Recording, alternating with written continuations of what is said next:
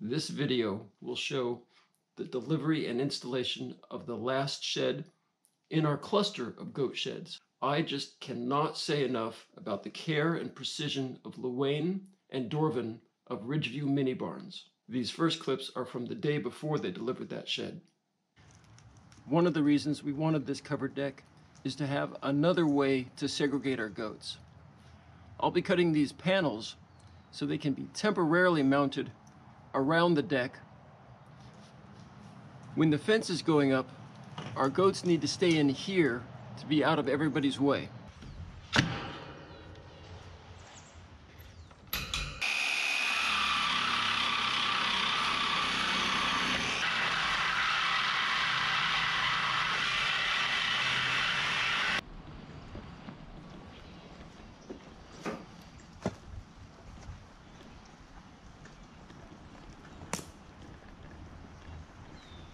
I've cut the panels. We'll put them up later. Our plan is to use these taller cattle panels on the sides and double up the shorter hog panels along the front. One of these sections up front will be put on temporarily with carabiners. So they'll be very easy to put on and take off. That way we can go in and out and put food in and out. We can just take maybe the top panel off to put some hay in there. That way the goats are still contained. Hopefully it'll work. This is all an experiment, so we'll see how it goes. We're waiting for the guys to show up with that second shed. We're expecting some rain, so I've set up a little umbrella system with my tripod so the camera can stay dry if it starts raining pretty hard We've needed rain, so it's good to get it, but I wish it wasn't right during this window when they're supposed to show up with our shed.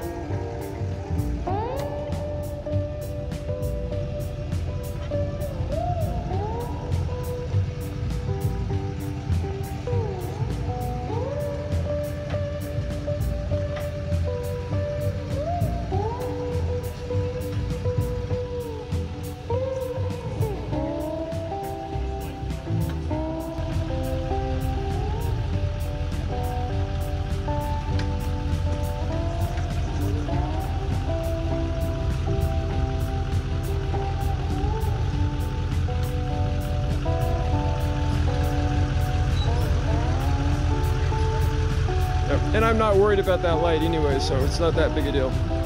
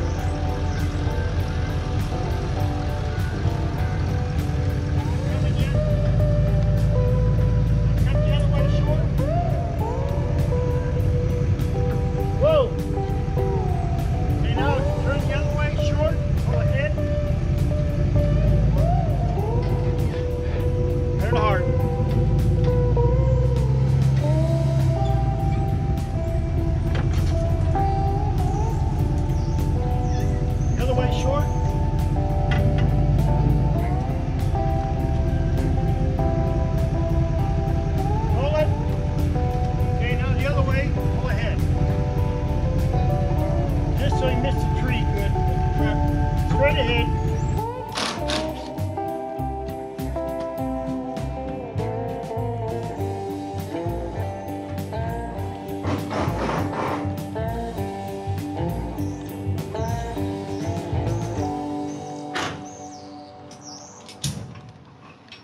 That it hasn't rained much. Yeah, yeah, we we lucked out with the weather here. It's just the slightest little sprinkle.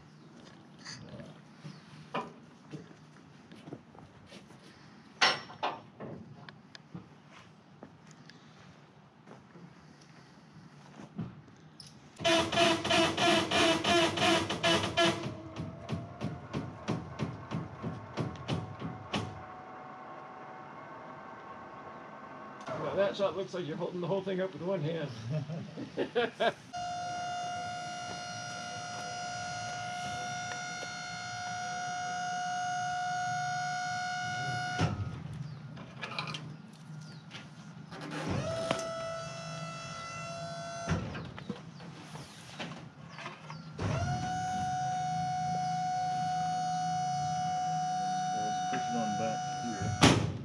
Actually, might come back soon.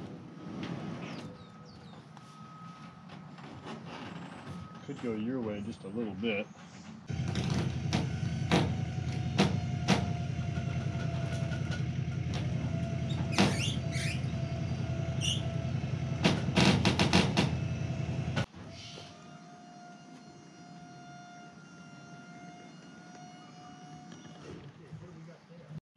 Okay, here we're gonna go.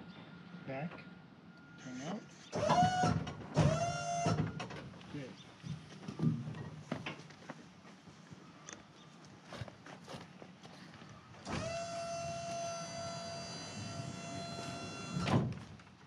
Just have a little oil on here. They'll stop when they get to the uh, bank.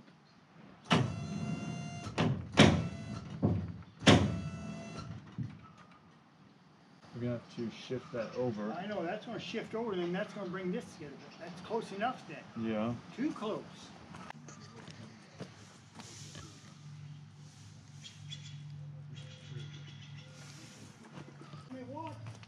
We have uh, three inches. Go three inches once. Keep a little bit. Okay, we're about an inch away. You can go a little bit more if you need. We will let this down off those blocks in a little bit, so I'll bring it just a tad closer. A little bit. Okay, let's stop with that. Might be tough to get it in here, but at least when it's in here, we know it's right. Say that again, so uh, everybody knows how well it was uh, positioned and Well, I tell you, it looks Prepared. like a good level spot for a good building to set. Perfect. Yeah. I don't know what you're gonna put in here, but my, I tell you what, you just put in a little bit of gravel or whatever, and this is gonna be super nice. Yeah, it was well done. Well done. I tell you what, look at that, it just sets down there so pretty. I like it. I highly recommend Ridgeview Mini Barns if you need any outbuildings. Their contact info will be in this video description. I'm really happy with how this jog ended up working out. It looks very intentional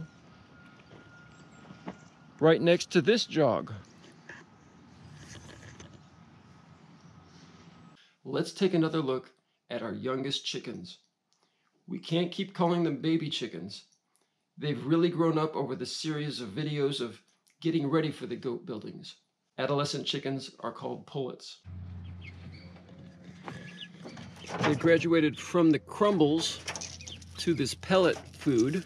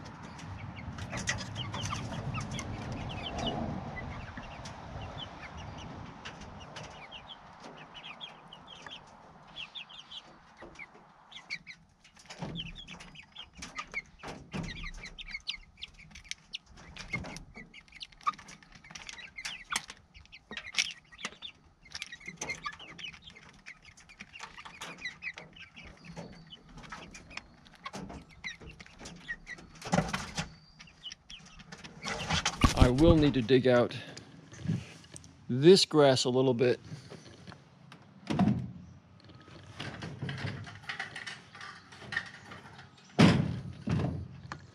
So the door will open. And this tree is definitely going to have to be trimmed back to accommodate that fence. But before we do that, let's go ahead and get those panels up. Four of these clips will hopefully be strong enough to hold these panels in place. The idea to get this panel on and off is to just pry it back a little, slip it off. The idea for this clip configuration is to just make the door panel a little quicker and easier to come on and off.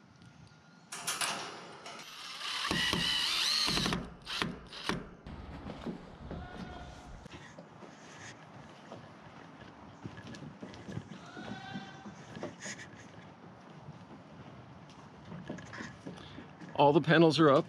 We used a double row here in front because some of our goats might be able to jump it if we just used one. The two panels are connected together with a series of these kind of clips. There are feeders in there and there's water in the stalls for them. I had to entice the goats in with some grain. We'll see if it contains them. To go in or out, you can unlatch the two top clips, fold that top panel down, and then just step over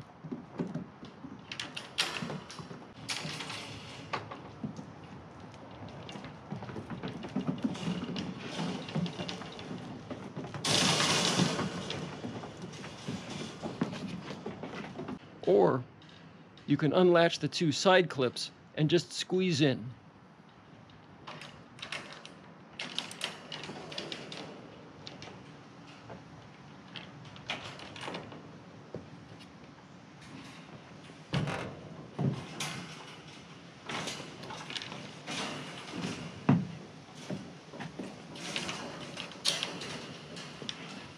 What a good goatie!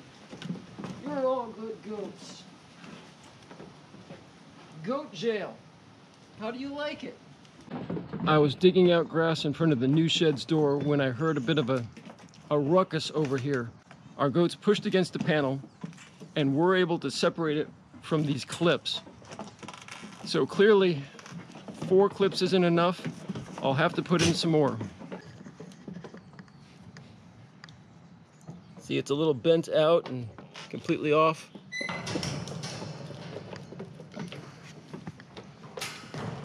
It's getting towards the end of the day. I did dig out in front of this shed door.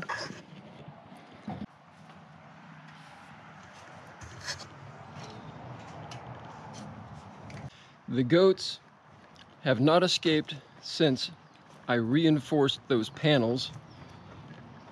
So far, so good. Still keeping an eye on it. It's a little bit, I'm a little bit dubious about it because those clips aren't very strong. But like I said, so far so good. We'll leave it and see how they do. I've started figuring out post placement using this long extension cord and some little pieces of rebar. This approximates the spacing for our gates so we can figure out the post placement for them. I haven't figured it all out yet, but I'll get there before they need to put those posts in.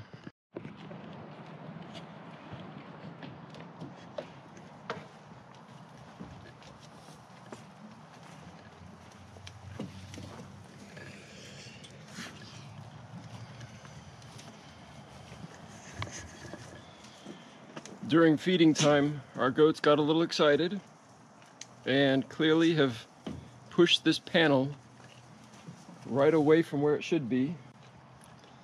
So I'm gonna have to find a more heavy duty way of attaching these panels.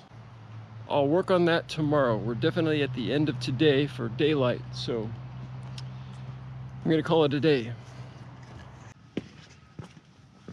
This space behind the new shed works out great. I just needed enough room to walk back here. The space on the side between the two goat sheds does present a potential problem though. I'll try not to show any spoilers. I'm filming this after all of the fencing work has been done. I'm just wearing the same shirt for continuity as when the shed was delivered. We wanted this gap to be just as narrow as possible. But of course now it will be impossible to pull weeds back there. My original intention was to just pile in a deep layer of gravel to block the weeds. And I'll still do that. But first I'm going to use some extra Quikrete from the fence post holes to create a sloping layer of concrete between the dirt and that gravel. You can see there's already some concrete down in there. When the guys were cleaning up from that fencing job, I asked them to put any extra concrete back in there just to give me a little bit of a head start. I'll be working from both ends with a hoe so I can reach back far enough and move and smooth out the concrete. I had two bags of Quikrete left over and I used it all in here. I think it looks pretty good. I didn't end up using that hoe. I just used my small shovel. The shape of this shovel was just better suited to rounding off the trough and smoothing it out. I tried to make this end a little bit higher than that end so water will flow that way. The the natural inclination of the land is to flow that direction. The pad for the building was perfectly level, so I could have gone either direction. But I figured just send the water the way it had been going before. Right here at the end, it does sort of taper off and slope back down this way. So just a little bit of a high spot right inside that gap. We're expecting several days of rain starting the end of this week, so I'm glad to have this done. Once this concrete has set up, I'll just scoop in a bunch of gravel and that'll be that.